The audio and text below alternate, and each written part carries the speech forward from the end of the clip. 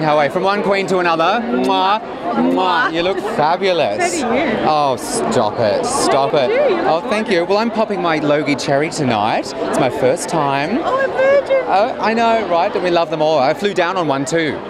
Now, darling, you would have some advice for me after the after party advice. What? Be, be careful. Be careful. Yes. Okay. And, and, and try not to drink too much. Well, it's a bit hard when you drink it through a straw. Well, if you drink through a straw, that's very good. Yeah. You don't want to get any lippy anywhere or lose any lippy. Oh, it's all right to lose a bit of lippy at the Logies. Yeah, yeah. Depends on who though. Oh, absolutely. Yeah. Don't waste it. Well, hopefully be Ricky Martin tonight. Are you looking Is forward to? coming? He is coming. Well, I hope so. I've heard so. He'll be singing as well, maybe. Oh, wow. Yeah. Well, there you go. Well, and he's available. Sorry. He's available. I know. Yeah, damn right. Good luck. And I hear that he likes the, the, the Aussies. From one hot-headed woman to Oh, another. Luck. well, darling, go and be fabulous. It's great to meet you. Thank you. Mwah.